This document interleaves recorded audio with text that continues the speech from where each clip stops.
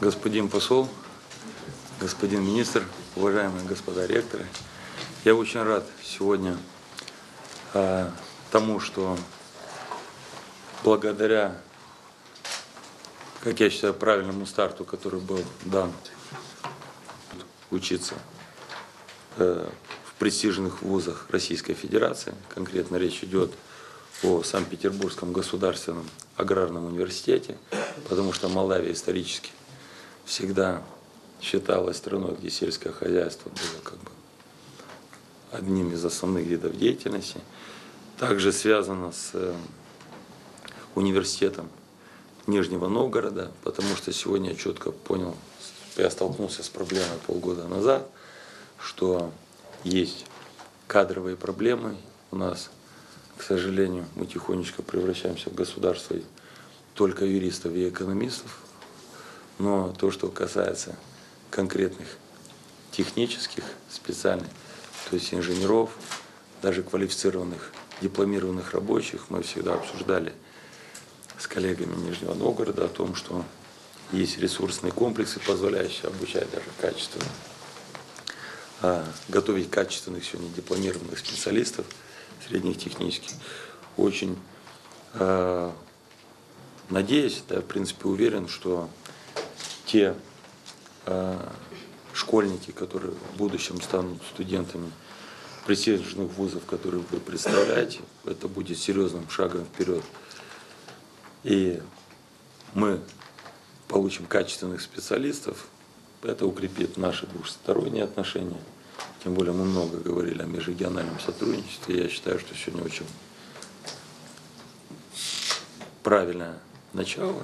И очень надеемся на плодотворное сотрудничество и на то, что чьи-то мечты станут реальностью. И самое главное, что люди будут э, добрее. Те люди, которые получат образование, не вернутся и с гордостью будут вместе с нами поднимать страну, потому что за последние 20 лет, к сожалению, больше уничтожили, чем создали новую. Спасибо.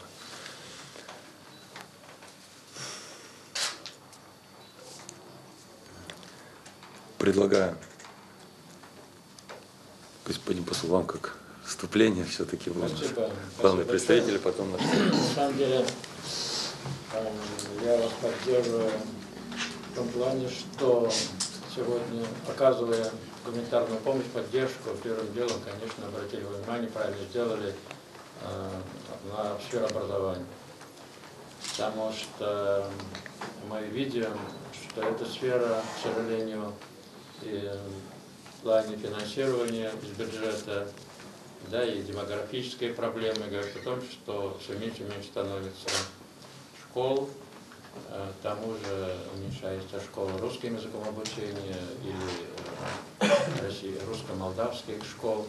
В этом плане, если наши коллеги сегодня приехали конкретными предложениями, естественно, это поддерживаю, это как раз э, лежит в русле наших договоренностей в рамках межрегионального сотрудничества. А такие крупнейшие регионы, как э, Санкт-Петербург и Нижний Новгород, если они возьмутся за оказанное содействие и Бельсам, и ближайших городов, районах, это будет э, огромная поддержка, помощь с точки зрения оказания вот, э, помощи в образовательном процессе. Параллельно с этим сегодня, вчера-сегодня Кишинев заседает комиссия а, по линии российского правительства сегодня 300 молодых людей отбираются для учебы в российских вузах.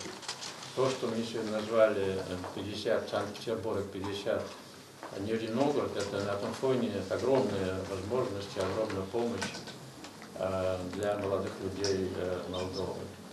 Поэтому, я думаю, мы слово дадим больше нашим гостям. Мы с вами часто встречаемся, поэтому с нашей точки зрения по моим мнениям, здорово, что в течение короткого времени э, вы налаживаете межрегиональный контакт с Российской Федерацией, ведущими регионами, ну а регион отвечает конкретными предложениями с точки зрения оказания содействия. Вот то, что мы начали с гуманитарных проблем, это, мне кажется, очень правильно. Спасибо. Вам спасибо за поддержку. Уважаемые коллеги, мы действительно э, очень рады, что э, наш визит э, сегодня э, дал возможность ознакомиться с тем, что действительно имеет сегодня такой муниципалитет, как Бельцы. Мы сегодня реально понимаем конкретику, что нам нужно конкретно, точечно помочь и в тех вопросах, которые нужно решить. У нас уже есть определенная договоренность и с определенными школами. Сегодня есть э, определенные э, университеты, с которых мы были.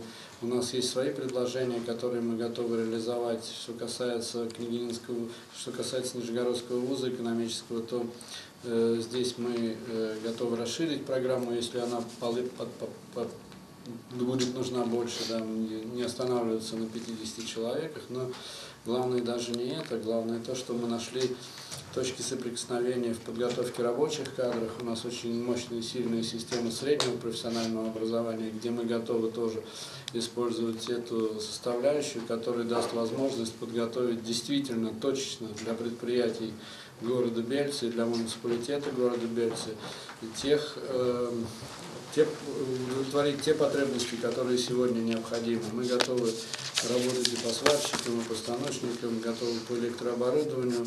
У нас есть очень мощные ресурсные центры, которые есть. Как один из вариантов, может быть, возможен э, здесь попробовать организовать систему э, ресурсного центра, э, одного из возможных. Мы готовы заниматься подготовкой, если это э, от нас попросят, подготовкой и переподготовкой педагогов, возможности тем стандартам, которые сегодня нужны. Ну, вот э, сегодня утром я был э, в православной церкви, встречался с э, митрополитом, Епископ. с, епископ- с епископом, да, мы тоже нашли точки соприкосновения. Думаю, что и здесь мы сможем оказать определенное содействие. Он готовит большой памятник, там, который может быть наша промышленность, которая есть, там литье, еще какие-то вещи, которые мы готовы оказать содействие. Там стоит памятник Серафиму Саровскому, э, памятник Сергию Радонежскому, и мы с э, архиереем определились, что почему бы там не появиться и памятнику батюшке Серафиму Саровскому, этого святому земли Нижегородской. То есть есть определенные соприкосновения и на этом уровне. Э, Что касается техники исполнения, мы э, действительно договорились с некоммерческими организациями, с возможностями, что мы получим конкретику. У нас уже есть, мы приглашаем на несколько конференций, которые будут проходить в Нижнем Новгороде, в Нижегородской области. Э, Здесь представители, мы готовы пригласить э, делегацию студентов, у нас международный молодежный лагерь. Ну, в общем, началась конкретная работа, и мы этому рады. Мы пропишем четко дорожную карту, и которые должны выполнять. Я думаю, что здесь все реально сделать. И самое главное, что это людям, на мой взгляд, здесь, в городе Бельце, очень нужно. Поэтому все, что сможем, мы готовы. Спасибо большое. То, что мы э, было сказано про среднее техническое образование, э, это очень хорошая э, идея, потому что мы знаем даже те проблемы, которые уже есть у нас на муниципальных предприятиях. Было дано вчера, было дано вчера поручение посмотреть, где как мы где хромаем, где чего недостаточно, потому что у нас, к сожалению, как я уже говорил, за 20 лет очень многие вещи изменились. У нас э, сотни тысяч граждан, которые находятся на территории Российской Федерации, работают, те, кто находится в странах Евросоюза.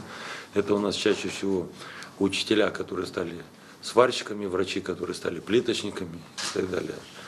И Бельцы один из немногих городов в стране, где касаемо среднего технического образования еще все-таки кое-что было сохранено, потому что в других городах это уничтожено.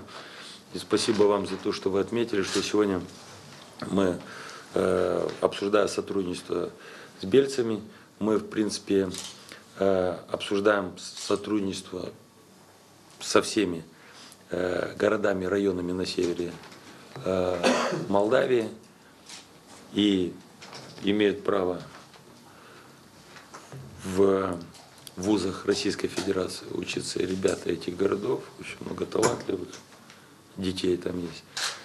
И хороший старт есть, и уверен, что результат принесет. Я помню, когда подписывал соглашение, дорожную карту э, губернатором Шансовым Валерий сказал, говорит, говорит, очень надеюсь, что э, мы должны сделать все для того, чтобы это не было просто рамочное какое-то соглашение, перейдем к конкретным действиям. И мы сегодня к ним перешли. Спасибо вам за это. Спасибо за предложение сотрудничества. Ну, со мной абсолютно реальным и конструктивным. Мы когда были в университете, я говорил там совете, что у нас в свое время было много студентов из Молдавии. Поэтому мы сегодня тоже в свою очередь заинтересованы в том, чтобы возобновить эти взаимоотношения и э, увеличить контингент студентов за счет э, граждан Молдавии. К этому абсолютно готовы. Более того, и хотим тоже этого. Поэтому, э, учитывая то, что э, вот те проблемы, о которых вы говорили, да, они понятны и близки, мы тоже с ними постоянно сталкиваемся и в Российской Федерации, и достаточно преуспевающем регионе, в нашем северо-западном, э, они точно такие же есть. Поэтому э, поиск их решения постоянно сопровождает нашу деятельность. И э, я думаю, что поможет здесь нам в совместных усилиях и начинаниях. Ну а все традиционные аграрные направления подготовки, которые ранее сельскохозяйственные вузы реализовывали, не сохранены в Петербургском аграрном университете. Те школы и те преподаватели, как правило, стипендийные, которые занимаются обучением студентов, также сохранены и есть, поэтому э, мы здесь э, готовы полностью обеспечить дос- достойный уровень подготовки для э, граждан Молдавии. Более того, мы тоже, как и многие вузы, сегодня развиваем так называемое непрерывное образование, поэтому все уровни, включая среднепрофессиональное образование, а также в университете присутствуют. И э, так же, как э, и вот в университете тоже мы разговаривали, можно э, школьников в прошлом, да, до доктора наук выучиться, точно так же можно э, это сделать в университете в Аграрном, и я не сомневаюсь, вот в том числе и Московской республики. Спасибо еще раз. Можно Во- уточнить всех. Насколько я понимаю, 50 мест это полностью обучение бесплатно, жилье бесплатно и стипендии еще добавляется.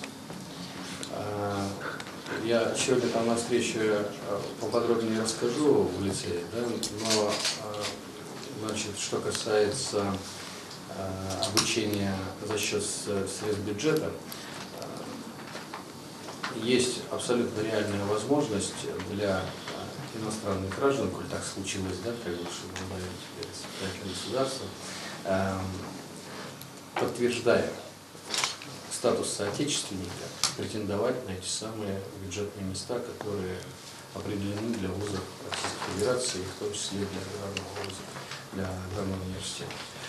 Поэтому это возможно. Единственное, что все равно за общежитие платят, потому что тех средств, которые бюджеты определяют на эти цели, как бы их все равно недостаточно, поэтому и за, средств, за счет средств бюджета обучающиеся студенты за общежитие платят. Э, Правда, далеко не столько, сколько коммерческие, так называемые, ну, коммерческие основы. Ну и если говорить еще о бюджетных, да, э, местах, несмотря на то, что э, мы тоже сталкиваемся с проблемой большего интереса абитуриентов так называемому непрофильному направлению подготовки и гуманитарной экономики, юриспруденции, менеджмент. Э, Тем не менее, достаточно много интереса и к этим направлениям проявляется. И там это возможно, но там э, бюджетных мест университета и э, не только у него не определяется, как Федерации. Поэтому мы сейчас говорим прежде всего о традиционных сельскохозяйственных направлениях подготовки. Там э, бюджетные места определены, и возможность учиться за счет средств бюджета у иностранных граждан в данном случае в Молдавии есть абсолютно. А при каких условиях это возможно? Мы- соответствующую. Мы обсуждали, когда встречались э, с руководством, э, с губернатором Санкт-Петербурга и в Нижнем Новгороде, в принципе, что если будут ситуации, где э, образование оно бесплатное, но, например, стоит вопрос с общежитием и так далее, особенно когда речь идет об батальонных детях. Значит, в Молдавии уже год существует фонд Рената Усатова. Мы, я оплачиваю многим детям образование, поэтому я уверен, что были бы хорошие дети, как говорится, вопрос общежития и так далее я возьму на себя с удовольствием. Даже не как мэр, а просто как гражданин этой страны, который заинтересован, чтобы здесь начали происходить какие-то изменения. Но я также понял, что вопросы проживания и так далее, это все вопросы обсуждения. То есть главное сейчас правильно начать, а уже по ситуации мы посмотрим, потому что есть э, наши соотечественники, которые много лет назад уехали в Россию, так же, как и я переехал в 2004 году, в 2014 вернулся, которые также, я уверен, активно бизнесмены включатся в эти процессы и, как говорится, возможности одних и вторых, я уверен, что однозначно принесут результаты со знаком плюс. Вот. Плюс, имея сотни тысяч молдаван, может быть, мы за одну ночь и построим еще одно новое общежитие, где мы вам отдадим половину, а во второй половине наши будут. Даже проект.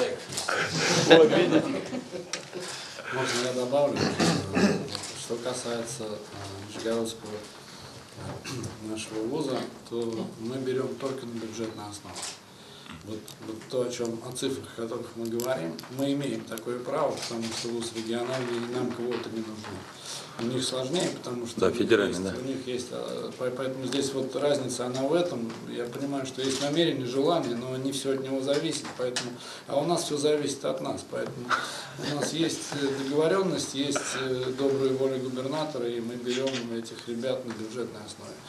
Если будет нужно больше, как я сказал, будем решать. Если кто-то будет, захочет учиться эм, на коммерческой основе, да, то есть бывают такие на каких-то специальностях, мы тоже эту проблему решаем, и она решается без квот. Я думаю, многие захотят это сделать, потому что получить квоту сегодня сложнее гораздо. Но зато, на мой взгляд, это очень хороший элем- элемент в том плане, что это открытая система, она честная, она не подвержена никаким там, я не знаю, переходам определенным, то есть человека мы берем, мы его обучаем, четко за него можем отчитаться, и я думаю, что для вас это будет выгодно. Может быть, таких детей надо отпускать к нам по контракту, для того, чтобы он вернулся, какие-то обязательства прописывать, но об этом нужно думать. Да, То да. есть э, для того, чтобы эти дети впоследствии, получив бесплатное образование, вернулись обратно на то предприятие. Мы подскажем, как это делать, у нас есть опыт. Вот, поэтому вот э, нижегородская составляющая, она именно поэтому такая, не потому что мы такие хорошие, а потому что у нас есть такая возможность. У нас главный лозунг нашего университета – бесплатное высшее образование есть. Да, написано прямо на самом здании, Да. специально, чтобы люди, знали, что вот оно есть. Мне понравился вчера студенческий городок, который вы показали, как он выглядит. И это я понимаю, почему нравится нам, а не нравится студентам. Там студенческий городок так, э, географически расположен так, что до ближайшей дискотеки туда даже на автобусе ехать три часа, я так понимаю. Да? То есть, кроме студенческих, кроме общежитий и, наверное, библиотеки, там ничего нет. И фок Поэтому- рядом, А? бассейн, фок рядом, А. бассейн у нас. Да, Э, физкультурно-оздоровительный комплекс, да. бассейн есть, я понял. То есть лыжная должны площадка, плавать, лыжная. заниматься спортом. Да. Здоровый образ жизни. здоровый да. образ жизни, да. Вино они здесь попьют. Понятно. Э, Спасибо большое еще раз. Значит, э, у нас сейчас подписание соглашения. Договор сотрудничества в области образования между Советом муниципия ВИЦ и Нижегородским государственным инженерно-экономическим университетом. Договор подписывают примар муниципия Рената Георгиевич Усатый и ректор Нижегородского государственного инженерно-экономического университета Шамин Анатолий Евгеньевич.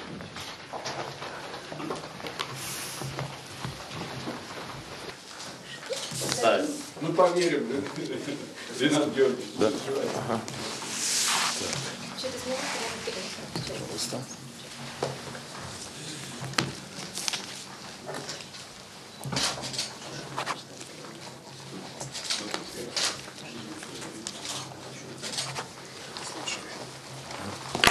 Сложение заодно. Видишь, папка, ну.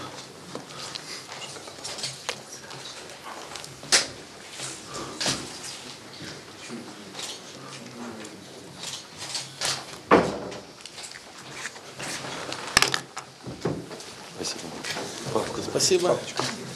Будем сотрудничать, работать, учить наших детей Спасибо. да, в нашем рабоче-крестьянском университете. Спасибо.